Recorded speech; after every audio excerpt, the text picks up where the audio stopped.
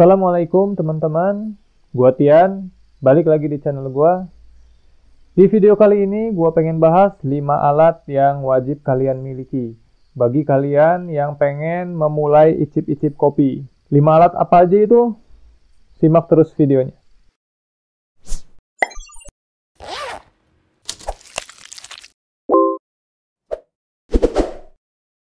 Sebelum gue lanjutin, gue pengen ngasih tahu ke kalian kalau di channel ini kalian bakal dapat informasi tentang kopi, vlog, review alat-alat kopi, dan lain-lain.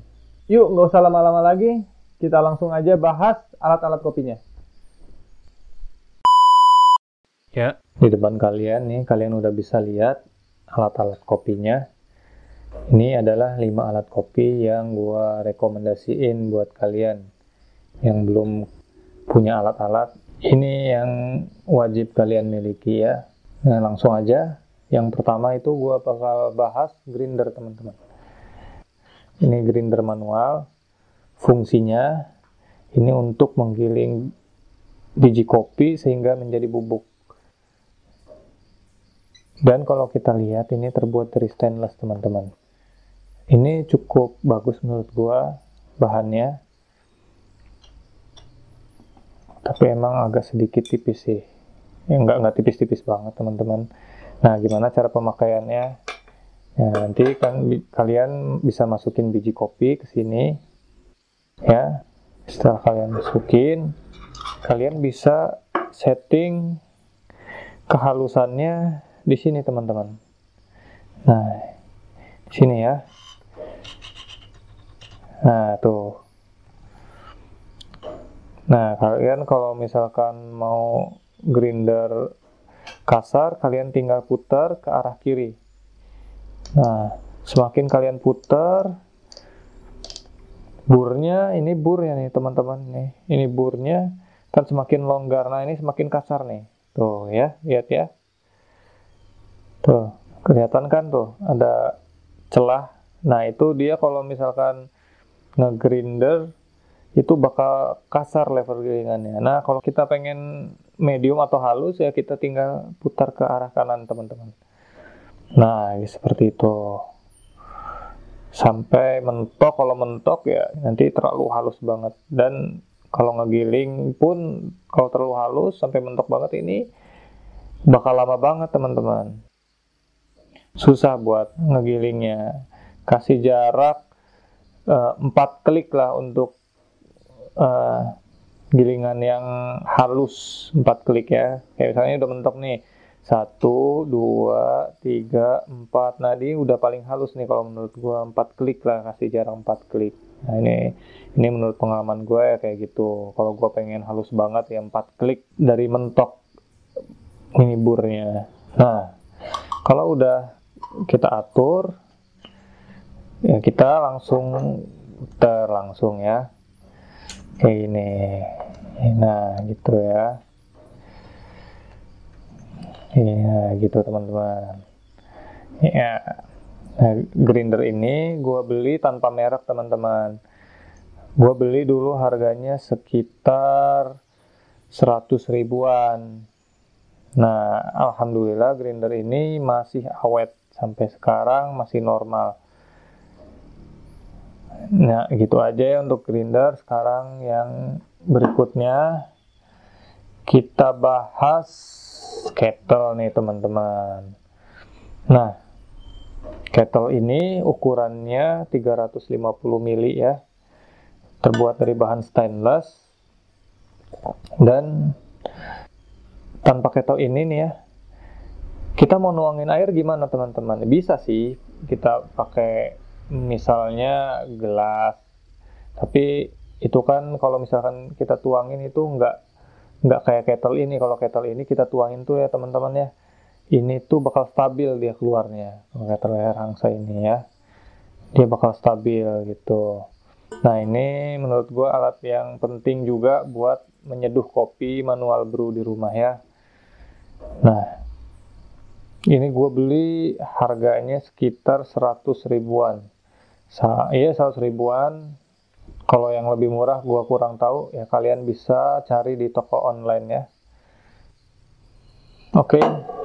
selanjutnya ada mocha pot nih teman-teman nah mocha pot ini fungsinya untuk membuat espresso teman-teman jadi espresso itu menurut gua uh, bahan dasar yang penting ya buat dicampur susu tentunya teman-teman. Kalau kalian pengen bikin es kopi susu pakai mocha pot ini juga enak teman-teman.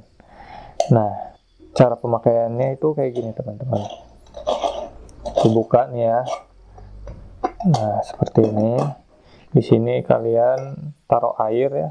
Taruh air sampai batas di sini nih. Ada apa ini ya?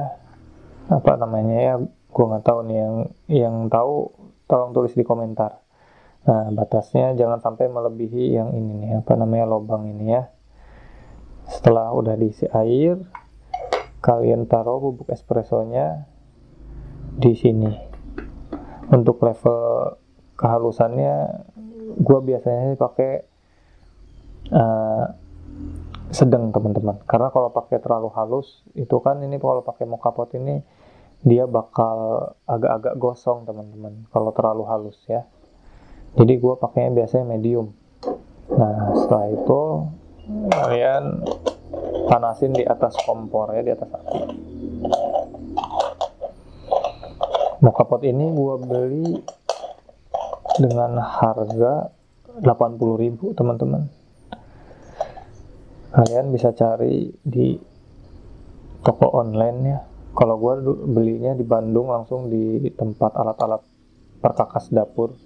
Nggak tahu di toko online ya kalian bisa cek sendiri. Ini yang tiga cups. Oke gitu. Sekarang selanjutnya gue pengen bahas V60 nah ini bahannya stainless. Ada juga V60 yang bahannya plastik teman-teman. Nah gue pengen bahas nih ya. Di sini gue juga ada V60 bahan plastik tentu aja bedanya itu dari bahan ya. Yang kedua oh ya sebelum gue pengen bahas lebih dalam jadi kenapa dinamain V60 teman-teman? Nah jadi V60 ini kenapa dinamain V60 karena bentuknya V ya. Pertama karena bentuknya V dan 60 itu maksudnya 60 derajat itu apa ininya apa namanya sih tingkat kemiringannya itu 60 derajat gitu teman-teman. Makanya dinamain V60 oke lanjut. Kita bahas eh, V60 ini bedanya apa sih? Stainless dan plastik. Yang pertama tentu bahannya. Untuk rasa kalian bisa icip-icip lah kalau udah punya ya, alat dua-duanya ya. Dan kedua yang kedua bedanya itu kalau yang stainless ini dia nggak perlu ini teman-teman. Nggak perlu kertas sehingga kalian bisa hemat untuk biaya ke depannya teman-teman.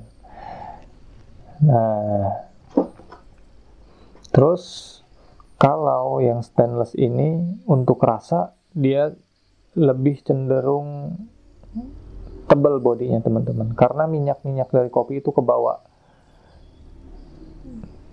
kalau yang pakai filter kertas ini dia minyaknya keserap di kertas teman-teman. Jadi cenderung rasanya lebih asam. Nah itu perbedaannya menurut gua. Dan kalian bisa coba sendiri kalau udah beli dua alat ini. Nah untuk harganya sendiri gua beli V60 ini sekitar 90 ribuan sampai 100 ribu di toko online. Dan yang plastik ini gua beli harganya 45.000 mereknya Suji. Kalian bisa cari di online ada official store-nya merek Suji ya. Dan di situ juga include paper filternya. Oke gitu aja teman-teman. Kita yang terakhir nih. Di sini ada French press. Wah French press kapal api. Nah gua ini beli ini udah lama banget teman-teman. Oke, kita bahas fungsi dulu ya. Fungsi French press ini sebenarnya untuk bikin kopi saring sebenarnya kopi tubruk tapi ampasnya itu disaring nih sama si yang gue pegang ini saringannya nih nah jadi mirip kopi tubruk ya kalian bikin kopi gitu ditubruk di sini terus kalian press tuh ya ampasnya Nah, jadi dia ampasnya nggak akan kebawa ketika kalian nuangin ke gelas gitu ya. Anggap aja gelas ya. Sur gitu teman-teman. Jadi ini French press ini biasanya pakai level gilingan yang kasar. Nah, French press ini juga bisa berfungsi sebagai steam susu teman-teman. Kalau kalian pengen bikin latte art, kalian bikin bahan dasar espresso dari mocha pot, dan steam susunya dari French press ini teman-teman. Kalian bisa lihat tutorialnya di sini nih teman-teman nanti. Tutorial bikin cafe latte. Gua dulu beli French press ini seharga 50.000 di toko online teman-teman. Jadi sangat murah ya teman-teman. Ini juga lumayan awet. Gua udah sekitar setahun pakai ini. Alhamdulillah masih awet teman-teman. Oke teman-teman. Oke gitu aja teman-teman. Video dari gua Jadi 5 alat ini bisa kalian dapetin di toko online Dengan harga yang murah Sekitar 450 sampai 500 ribu Kalian udah bisa dapetin 5 barang seperti ini teman-teman Oke teman-teman, semoga video ini bisa bermanfaat buat kalian yang bingung cari alat kopi. Semoga dengan nonton video ini kalian udah nggak bingung lagi. Dan lo yang suka dengan video gua, jangan lupa klik like, share, dan subscribe untuk mendukung channel ini agar channel ini tetap berkembang. Assalamualaikum, sampai jumpa di video berikutnya. Bye-bye.